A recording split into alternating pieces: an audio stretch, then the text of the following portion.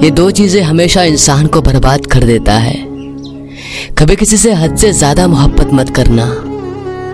क्योंकि जब तुम किसी को अपना वक्त देते हो ना तो वो तुम्हारी वक्त की कदर नहीं करता। और ऐसे ही आपका सारा वक्त बर्बाद हो जाता है।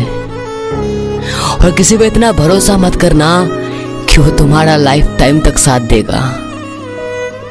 भूल जाओ तुम्हारी गलत फहमी है। क्योंकि लोग मोहब्बत नहीं करता। सब टाइम पास करते हैं। सब टाइम पास करते हैं।